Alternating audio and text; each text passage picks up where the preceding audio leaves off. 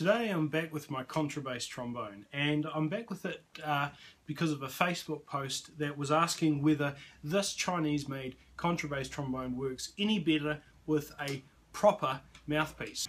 Now if this video sounds a little bit uh, rank it's probably because it's quite windy here today, you know it's Wellington, it's always windy, um, but this is about the quietest time weather-wise that I've got so I thought I'd take advantage of that and make this video. In addition to giving you a demo with the mouthpiece that comes with this contrabass trombone I'm also going to give you a bit of a demonstration with this mouthpiece here. This is a Denis Wick size 3 tuba mouthpiece.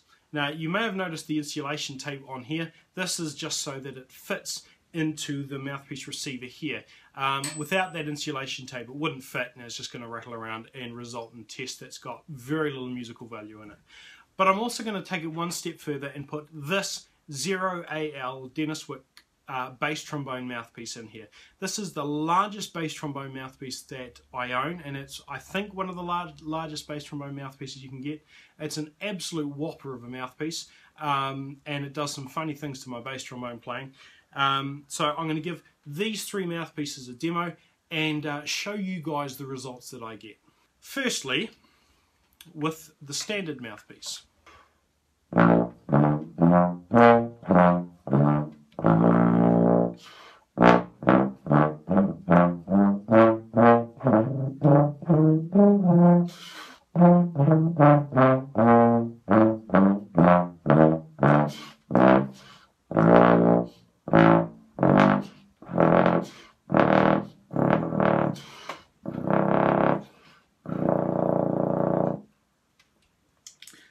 That's just playing at a, uh, at a comfortable volume. I'll now try playing a little bit quieter.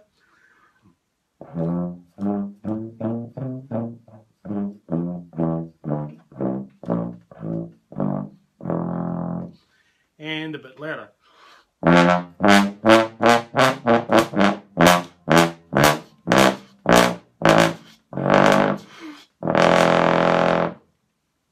Of course, those dynamics have little musical value, but I want to be reasonably thorough.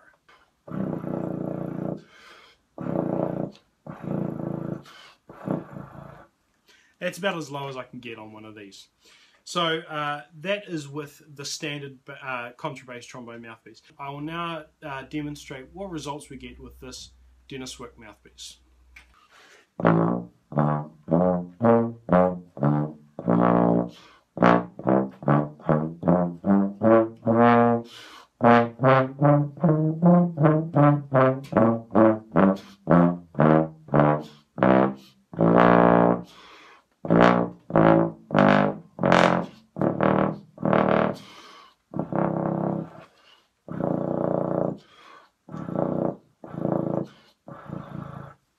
So I've got about the same range. I can get that low um, pedal A. I can't really get any lower than that. But that's the same result as what I get with the mouthpiece that comes with this instrument.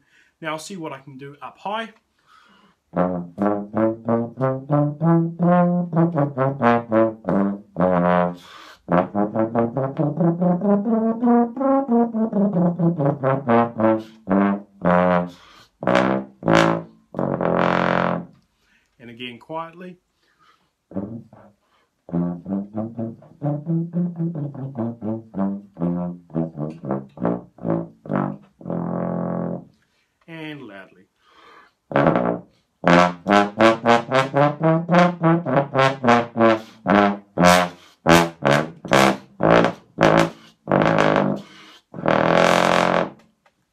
It's a lot more difficult to get those lower notes uh, when you're playing really loudly, but at the volumes that you're going to be using this, it's actually, uh, now that I've done this a couple of times, it's actually a lot easier to find the center of notes when uh, I use this Denis Wick mouthpiece.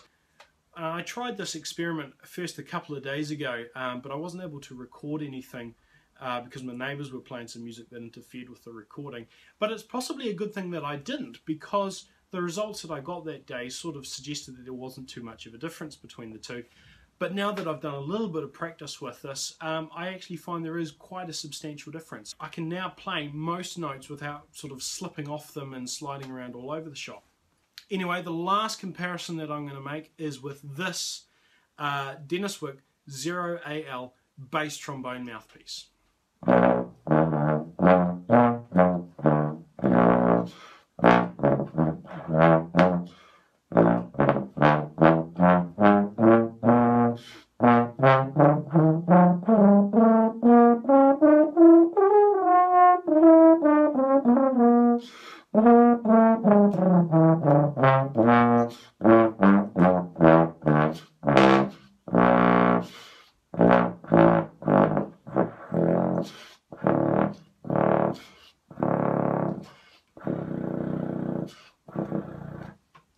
So you sort of lose the bottom of your range. Um, the notes are sounding, to me at least, a lot thinner. Um, the mouthpiece really does feel too small for this instrument. Um, but again, I'll do some quieter stuff.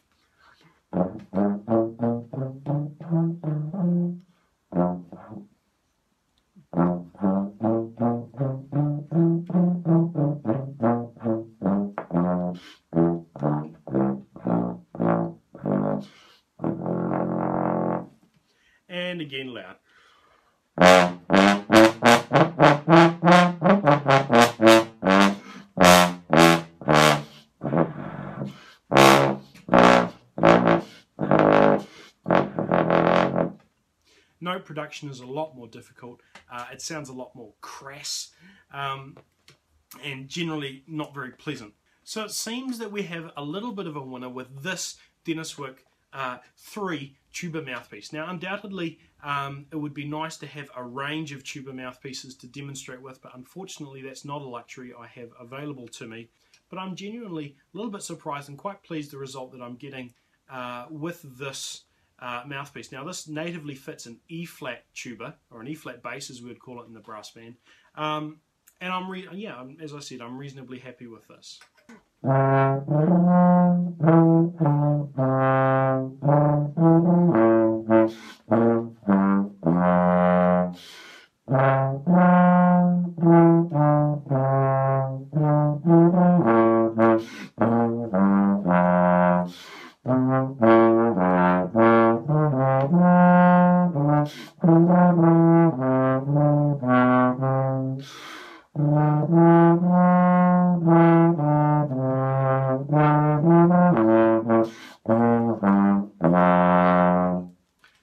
and that same phrase with the uh, no-name mouthpiece that comes with this.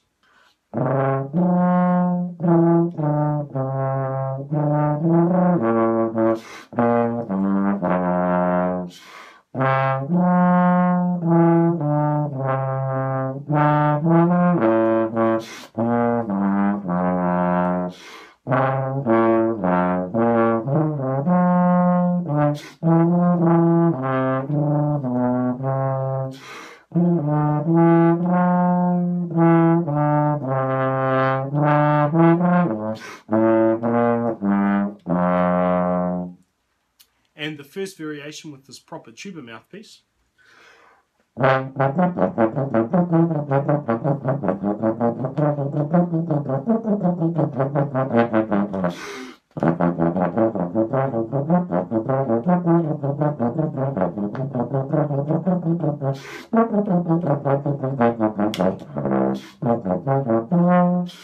And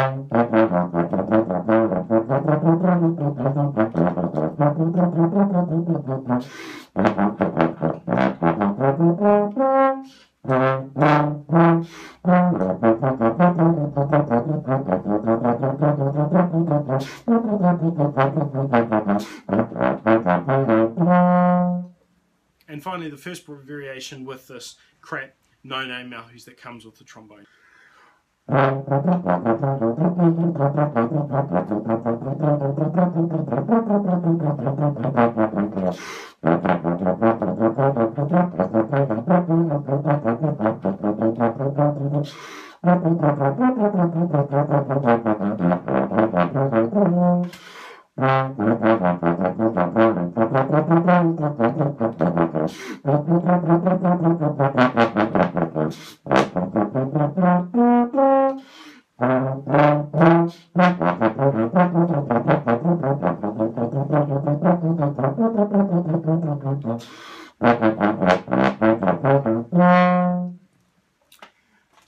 final observations. Um, I'm not sure whether the microphone that I'm using to record this is going to work too well. I say microphone, um, uh, it's actually built into my camera. I've got two cameras recording this video.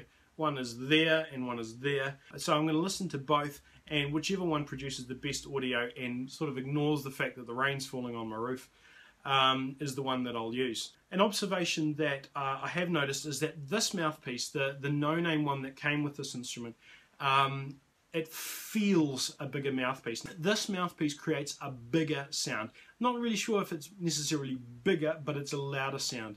Um, I'm most like I'm most likely going to have to adjust the audio levels and so forth on this video, so that may not come through. Um, but it does produce a louder sound. It is a sound that's a whole lot less certain. I'm not as confident about hitting notes as what I was when I used the Denis Wick mouthpiece. But anyway, I created this video uh, as a result of a question somebody asked on Facebook, so hopefully this video serves to answer your question. Thanks very much.